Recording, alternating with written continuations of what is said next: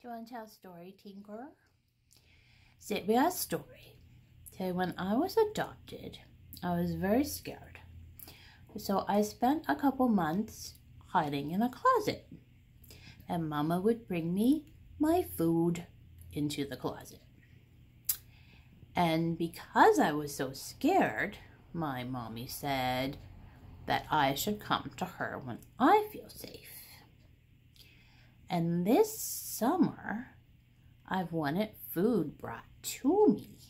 So this morning, Mama realized that Mama can bring big old sloppy kisses right to me and I'm not afraid anymore. So Mama doesn't have to wait for me to come to her.